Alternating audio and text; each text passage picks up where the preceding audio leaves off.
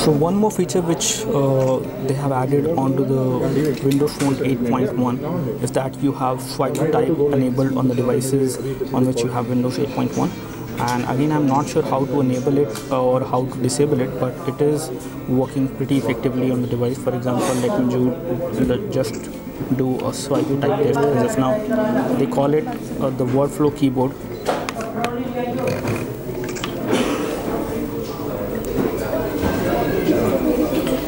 okay wait. And it does give you the suggestions as well whenever you are typing. As you can see Hi, this is Deepak from 91 Mobile. so this is how you can actually type on this device without any issues. It is one of the fastest Word Flow keyboard which they have as of now. So you can actually uh, do a swipe to type on this device uh, quite fast. Even they have done a test in which they have compared this one with the Samsung Galaxy S4 and on that one they have actually made a Guinness Book of World Record as per which you can actually type pretty fast on this one much faster. Almost uh, there was 8 second difference in between this device the Samsung Galaxy S4 in terms of the swipe test.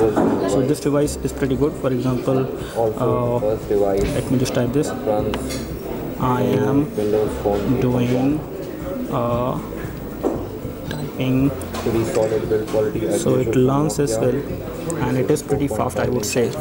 And it is pretty correct as well in terms of the suggestions it will give you.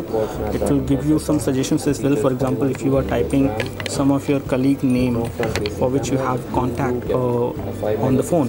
For example if I'm typing over here uh, for example if I'm typing Abhishek A B H I S H E K. So it will have the name and it will give you the other suggestion as well uh, which Abhishek you are talking about so that you can actually add the full name of that uh, person uh, which is there on the contact on the phone.